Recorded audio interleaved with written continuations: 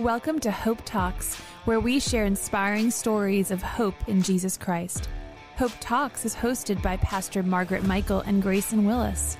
Join us for uplifting stories of triumph, faith, and the enduring power of Christ's love. Also, if you're in the listening area, tune into 1470 AM or 102.1 FM WBTX to listen to Hope Talks every Sunday at noon. Welcome to today's broadcast of Hope Talks. I'm Grayson Willis. And I'm Pastor Margaret Michael. Thank you all for joining um, us today and those that are listening. And today we're joined in the studio by Nicole Wright. Nicole, welcome. Thank you.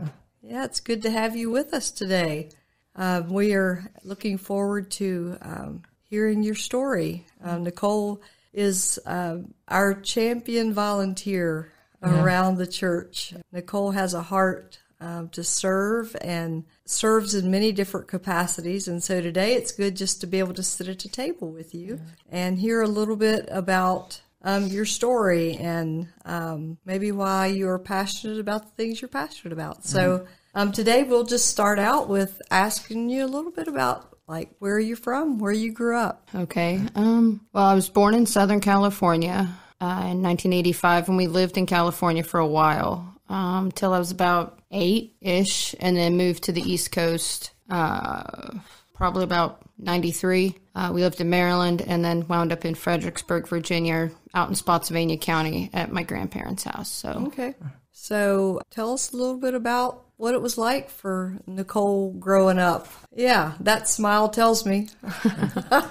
okay. A little bit. Um, so uh, my mother was a single parent. Like I had mentioned earlier, we moved around a lot. Uh, she had some pretty significant mental health struggles, and um, I think partially related to that, also had a pretty bad drinking problem. Um, we lived with her parents on and off until I was about kindergarten or first grade age. Uh, just moved a lot as a result. She was actually a registered nurse for um, the neonatal intensive care units was her specialty. Um, but those jobs were, I don't want to say frequent and far between at the same time, but they just really didn't last long. Like she'd get on somewhere and just due to some other struggles, I just really couldn't keep them for various reasons. Uh, a lot alcohol related, a lot of interpersonal stuff, I'm sure. Um, I have some memories of it, but not a lot of like the reasons why. But as a result of not being employed or just different things, you know, we'd, we'd get a house, um, often only have the lease, I guess would be the word, for about a year. And then, you know, there'd be an eviction or we'd be moving on for whatever reason. She obviously came up with other reasons. Um, but as I got older, I realized, you know, a lot of it was the increasing substance use as well as untreated mental illness. I don't know if it was because it was the 80s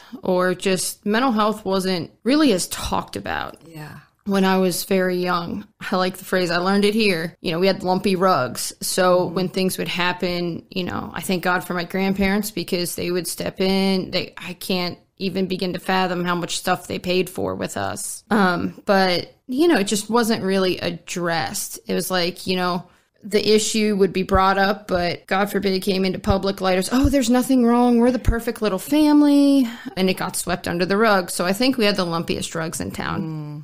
But I also think that contributed to the worsening of my mother's issues because it wasn't dealt with. Um, right. You know, if, if mental illness isn't diagnosed or treated. I mean, I'm no expert, but like any other illness or sickness, if it's not treated or addressed, either medically or therapeutically, it progresses. That's right. Especially the ones she had. So, biggest issue was that growing up. So, that caused the moving around a lot, uh, some bad relationships. She was very clingy with me. Um, I think out of a fear of rejection, maybe, or um, something to do with she did have some delusions. So you know, maybe something to do with that. Um, as a result, really didn't have a lot of friends, you know, not a lot of good relationship example, I guess. Um, so I was kind of the mean little poor kid that didn't have anything to do with anyone. I learned that as a coping mechanism early and kept it well into adulthood. Yeah. So, and then, you know, long story short, we moved to Virginia after Maryland and uh, it was probably around middle school, um, and we lived with my grandparents off and on through that. and then you know her stuff continued. Um, the mental illness, the drinking. That's when I actually uh, was used to steal it for her because alcohol gets expensive, even the bad wine. So that created a lot of issues. So your grandparents, it sounds like they were there for you and provided a lot for you during those years. They did, yes. Um, I honestly don't know where I'd have been without them, even after those years and into adolescence and early adulthood. Yeah. So was the church ever a part of your story? like Kinda. That's kind of a two edged sword with that. And it's probably a bad analogy to make, but my grandparents were Lutheran. Uh, my grandmother was born two weeks after her family got off the boat from Germany. She was a surprise, like me. Um, but so she raised her family. My grandfather did as well, of course. So we went to Lutheran churches. I remember sitting in the hardwood pew and saying the same thing over and over again. So I knew about God. I knew who Jesus was. You know, I, I knew all the Bible stories, things like that. But religion kind of was an uncomfortable thing for me because some of, without going into detail, some of the uh, delusions my mother had were related to seeing, you know, angels or things like that, just as we're speaking, you know. So, you know, while I, I- fully believe God speaks to us in different ways depending on the person, that wasn't God speaking. It was it was the mental illness. Um, we often church hopped as well because that's how you get money. Um, and I don't fault her for any of it, but she was trying to survive. Yeah, it was a surviving mechanism. Um, so I think we tried Baptist, Methodist, pretty much everything else. So church really didn't become a thing for me till into adolescence, uh, early teenage years.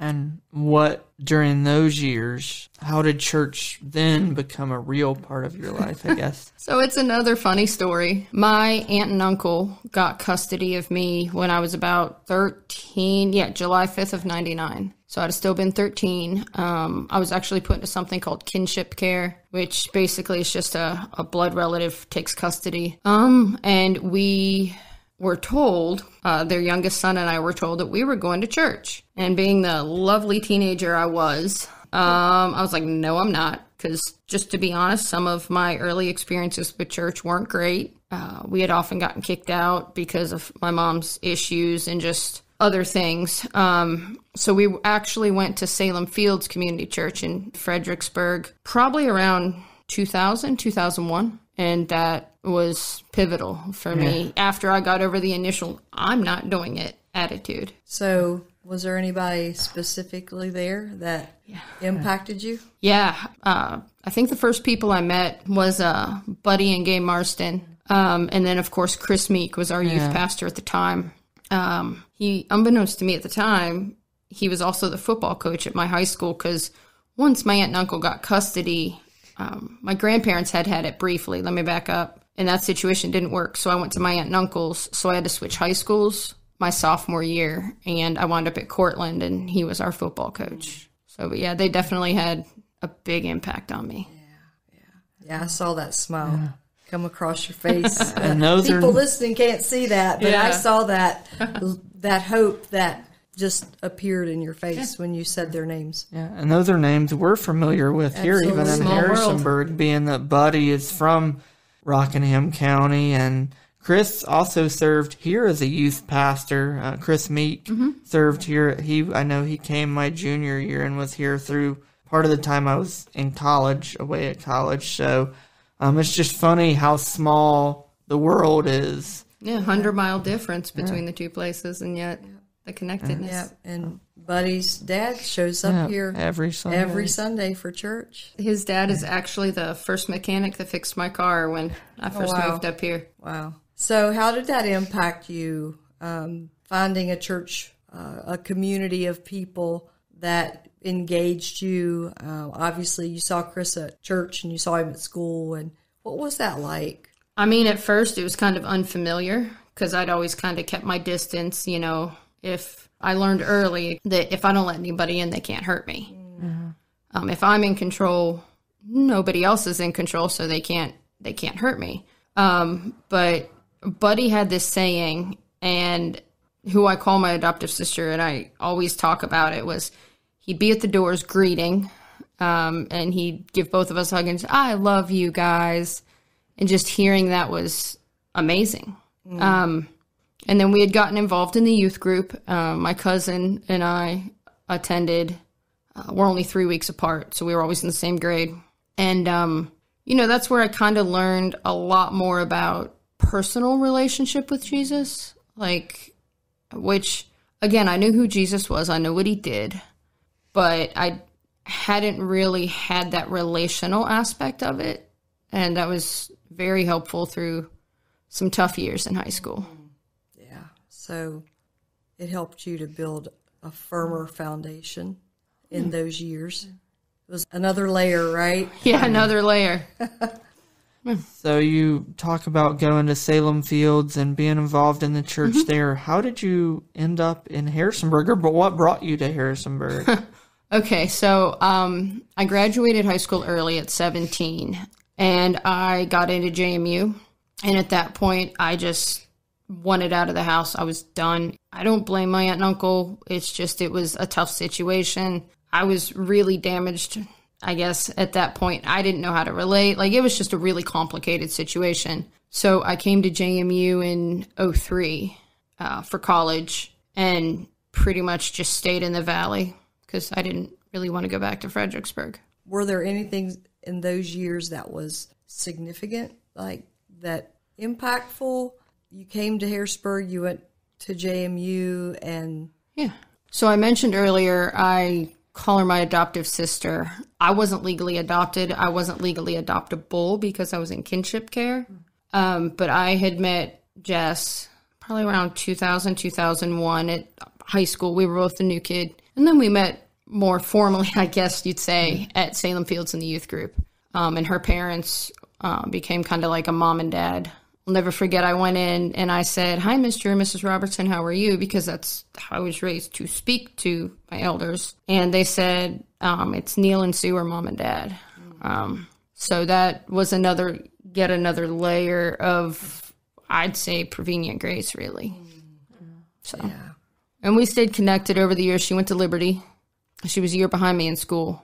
Um, so, you know, kind of had college. I did not do well in college. There, a lot of stuff happened. I just, I don't think I was ready. And at 17, given my background, and then, you know, my mother lost custody, all that family stuff, I had no idea how to study. I didn't have coping mechanisms. Um, and honestly, I don't think at 17 anybody really knows what they want. so true. It was just my ticket out. Um, so I actually failed out of college, uh, got my first apartment, tiny place over on 42, um, and stayed. Um, but my biological mother passed away September of 04. I was a sophomore. I'd have been about a sophomore. She died of alcoholic cirrhosis, and I think that just floored me. Like it set me back, and I just didn't didn't know how to deal with it. I didn't have those tools. yeah. So that kind of started some of the spiral. Yeah. But yeah, You survived. I did. So you ended up here at some point. Yeah, I actually tried coming here a couple times and just I don't want to say I didn't connect because everybody here at this church has always been loving and welcoming and awesome, frankly. But I think I just had my own stuff to work through. I guess I wasn't ready yet. Hmm. I don't know if that's the right phrase. So, yeah, I just kind of there was a counselor I saw years and years ago, my early 20s that said, "You know, you've survived so long, now you need to learn how to thrive." So I think I survived. Like I just lived. Yeah, one day to the next. Yeah, I mean I functioned. I got up, I went to work, paid my bills, but I was pretty pretty empty. Yeah, yeah. So how did that change? So, and I know now it wasn't an accident. Margaret and I have had this conversation. So, I used to do, um, I used to call it travel event marketing. So, I traveled a lot, used 81 a lot, and I had um, bought my place I live at now in Port Republic. Um, so, I always took the interstate exit on, I think that's 245. And so I'd pass this church all the time and they had the board up and, you know, but one time I noticed that it said celebrate recovery and that there was a serve. I thought it was a church service, a weekday church service because I was working weekends because that's when most home shows and festivals are. And So I came in and I was like, okay, I, I think I knew I needed to get back to church. I think subconsciously, like I, I don't ever remember thinking, Nicole, you got to get your stuff together. You got to get back to church. You got to get back to Jesus. But, you know, I think the Spirit leads where He will. And I walked in the doors and I met Pastor Margaret and Pearl Parks. I remember Two good night. people to meet. Yeah, yeah. I remember that night. Yep, six years ago. Yeah. But I know now that was, di- I'll call it divine appointment. Yeah. Yeah, the Lord, um, you talked about prevenient grace, and you know His desire is for us to to know Him and to be in relationship with Him from the time we're born until throughout life. Like He draws us. There's nothing in us that can really find Him. He finds us. Right. Right, he right, comes yeah. and meets us where we are. Sometimes even when we don't expect him, because I certainly did not. Yeah. I had kind of given up on going the whole going to church thing, and I tried a couple other churches in the area. Um, just didn't feel like a lot of stuff was biblical. I just I didn't feel comfortable. Like I think some stuff might have been false. I I don't know. Yeah. I just I knew I didn't need to be there, so I didn't stick with it. I learned another lovely coping mechanism when I was younger. If you don't like something, don't bother with it. So I just okay, I quit. Yeah. You know, I didn't really stick with stuff. But yeah, that changed coming here. Yeah, and that's amazing that that was at one time was a part of who you were that you didn't stick with things because the Nicole I know sticks with things. So how did that happen? Um, God's grace, honestly, celebrate recovery. You know, when I found out, just to be honest, when I found out it was a recovery ministry, my first thought was, oh no, it's going to be like AA and Al Anon again. And I'm I'm not speaking down on those programs. I think they serve an excellent purpose. Um, I know plenty of people that AA has really been helpful with. But again, my younger experiences, I was like, well, I'm not an addict. And then I learned, you know, celebrate recovery and recovery in general isn't just for somebody addicted. It's for everybody. You know, we all have a hurt, habit, or hang up at some point. If we don't have one now, we will soon. True. Um, so it was just peeling the layers off the onion, so to speak. Yeah. You know, And what do you think was like your greatest aha in Celebrate Recovery? Like what really what was a light bulb that come on? Because you came here, you weren't an addict. Um, matter of fact, you were determined not to be one, right? very much so. because yes. you had watched that in your own home. So when did you like? What was that like for you? I mean, you know, I, I came and I still had the defense mechanism of, you know, you don't let the walls down.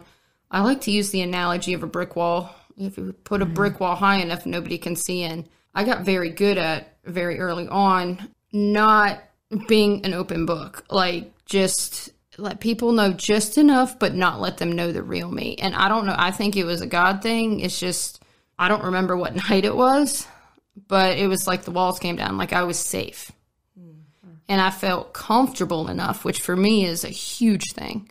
I felt comfortable enough to just, you know, start tearing down the wall, so to speak. And once that happened, it took a while, um, but that's exactly what I needed.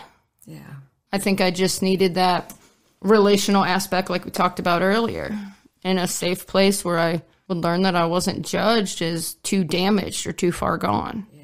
Where you found hope. You heard stories of other people who Yeah. found hope, and I think that helps.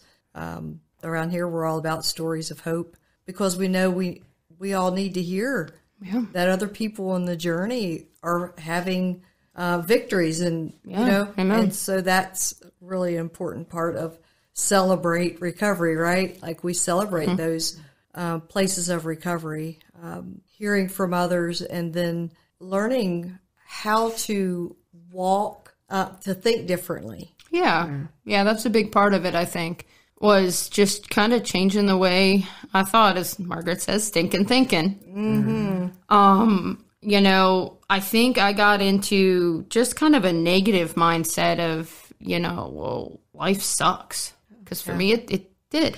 Yeah, Um, that doesn't mean that the good stuff didn't happen because it did. God had his prevenient grace there, you know, putting people in my life in situations.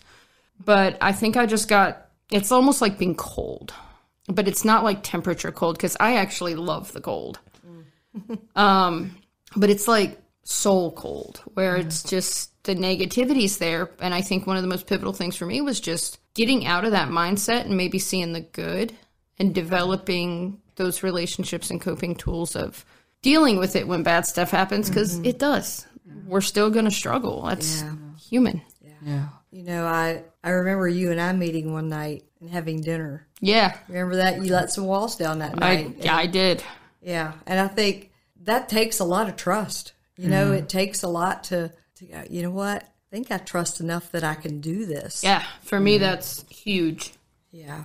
But it's a journey. You know, it's it's not something that happens overnight, but it's it's a journey. And and you've been here, you you've came to a place of healing and you've stepped in. Um we don't have probably enough time to talk about all the places that you've volunteered. But talk to us a little bit about just how you're involved within the church from coming in that night not knowing that you wanted to be a part ever really and to now what's it look like f- for nicole to be a part of the church Okay. So I'll go back to briefly just with having walls up. I think one of the most important things I learned was just being in community. Like isolating's easy because then people don't know what we go through. Um, so like I said before, you know, eventually walls came down, feelings came out, the good, the bad, the ugly, and oh my goodness. And I knew that I still felt loved and accepted and I wasn't rejected. Because see, my whole life in many aspects, I had felt that. But I mean, once I met people here that loved me for me, that made all the difference in the world. Um, and I think I just I feel led to share that with others. Um, you know, I I hope I know people are going to experience hurt and trauma. Like that's going to happen. I don't want people to experience half of what I have. But I also had to learn that in my own mind, if I could take the pain away, I would. But I can't. I know I can't. So maybe I can help people develop the tools to be able to do that. You know, and recognize that they're not not alone. Um, and by having that relationship with Christ, which I had the background of at Salem Fields, but I kind of walked away, I kind of rekindled that here. And just that feeling of hope and healing, I was home. And I want other people to feel that, even with some more recent stuff, you know. And that's where I kind of got plugged in. You know, I did CR for a while. I actually joined a life group uh, before I joined the church. I didn't officially join the church till COVID when we reopened, which was what, like 2021, I think. Um, yeah, and then just got into serving because I wish I could tell my grandmother she was right. Um, but she used to always say, blessing others blesses you. And it, it really does. I mean, you know, over the years, it's resulted in a career change. Um, I, five, six years ago, I'd have never thought I'd be where I am now. Sorry. Yeah. So, Yeah, um, I just see your compassion for children um, as you serve um, with our celebration place with our kids. Um, I see you um, driving the van um, and bringing people in. Um, I see you serving at Hope Distributed. With the youth at our East Rock campus, and also you serve online I do. once a month. So Um, you truly are a, a servant, and just so many of the areas that you serve. I hear your story, and I have a feeling that you see others Yeah. through those. Yeah, I think again, I wouldn't wish my past on anybody, but I think God brings purpose to our pain. Another mm-hmm. Margaretism is God doesn't waste a hurt. Yeah, right. So, you know, with that, I think sometimes it gives me a different perspective. You know, I, I think it's it's normal for people to be uncomfortable around things they don't they're not used to, they didn't experience, but I come from a place where we struggled for food, where, you know, things maybe didn't function well. I mean, when I was a child, we had periods of homelessness where we slept in a car. So it doesn't bother me. If anything, I think it kind of feeds me spiritually. And, you know, and just that I can show that grace and that some of that unconditional love. Um, the first Bible verse I learned was 1 Corinthians thirteen thirteen. And these three things remain faith, hope, and love, and the greatest of these is love. And I know how important that was in my own journey of healing. And I still have bad days. It's okay to not be okay. That only becomes a problem when you get stuck in it. And I got really stuck in it. Um, but yeah, so just to share that with others. Um, and I think that's my calling. I, I don't know exactly what that is yet, which for me is terrifying because I like having a plan and sticking to the plan and sticking to a schedule. Um, but yeah, just seeing where it goes. Yeah. But I've watched as you've really leaned in and um, even to the point of you help lead a grief and trauma group um, where you become hope for others who are not as far along. Yeah, we all still have work to do. Oh, you know, yeah. we all still until we reach glory, we will have work to do on this earth. We will not have arrived, but um, I just see you um, providing hope to others in many situations. And um, when you when I hear your story, it helps me to understand uh, your desire to serve children and teens and people that need uh, food and people that need a van ride and um, sometimes I think we can and I heard someone say they they would see they would go around and pick people up, but they saw themselves getting on the bus. Yeah, yeah, that that's similar. It's like I can see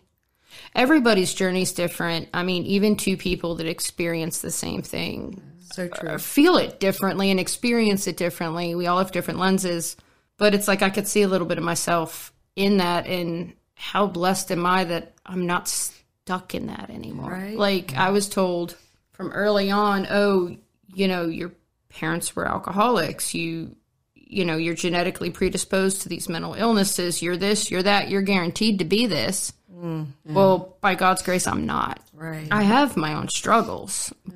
but I want to share that. I should say, I feel led to share that grace with others because that's not how we should live. God gives us the ability. We just have to do the work. I you don't I don't have to pull myself up by my bootstraps right. You have to be willing to put in the effort, and it is tough work. Let me tell you, when you do that first inventory and celebrate recovery, mm-hmm. it is torture, but it's yes. worth it. Yes. But we don't have to do it alone.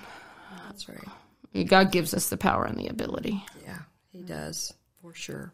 Yeah. Um, Nicole, um, just in closing, kind of two questions, but it could sure. be the same. Anything that you would like to share in regards to your testimony that we haven't asked you already? And then also, after that, uh, what brings you hope right now in your life since this program is called Hope Talks? What brings you hope? Just, I really struggled with rejection a lot. And it, I don't blame it on any one person. Like the stuff my mother struggled with, I don't falter. You know, I never did. Um, but just that, you know, the past doesn't determine my future. Right. Um, there was something I heard during parking lot church. I used to joke it was a sermon in a suntan. um, you know, just uh, Pastor Adrian just said, you know, as long as there's breath in your lungs, God's not done with you right. yet, and that your past has no more power than you give it. So just rely on that. Like I'm not da- I don't want to downplay the effect, especially really traumatic stuff can have on us because it, it leaves a mark. Those wounds don't fully heal. But we learn to deal with them and with Christ in our lives in a, a place like this, that's really, really helpful. Um, and you know, just that rejection only has the power we give it. And that God, another Adrian sermon, I'm sure. Um, you know, rejection can be really painful, but nobody can reject us. The world can't reject us any more or any less than we allow it. And God will never reject us. You know, He accepts us fully. Um, and I just, I want to share that with people that might feel hopeless. Yeah. Right. Yeah. Powerful. As long as there's breath, there's hope. Yeah. And if there's anybody listening today that feels hopeless, you know, I, I think about your story, Nicole, God led you to the right place. Mm-hmm. And if we're open and um, we ask Him, I believe that He will lead those listening to the right place as well. Um, Absolutely. Yeah. Because He He has never forsaken us. Right. He's never lost sight of us, um, and He pursues every one of us. Um, and so I'm very grateful for that, and grateful that uh, that you ended up here right. and yeah. Uh, a part of the fabric of our community. Um, it's been a pleasure to have you with us today. Yep. Nicole, thank you for joining us. Thank you for listening to today's broadcast of Hope Talks. We pray that as you've heard Nicole Wright's testimony today, that it truly has been a half hour of hope for your life. May God bless. Hope Talks is sponsored by Church of the Nazarene in Harrisonburg in partnership with Sunshine Ministries. If you enjoyed today's episode, make sure to subscribe, rate, and leave a review on Spotify or Apple Podcast. Your feedback helps us spread hope to even more listeners. Stay tuned for more uplifting stories in the next episode. Until then, keep the faith, share the love, and find joy in the hope that Jesus Christ brings.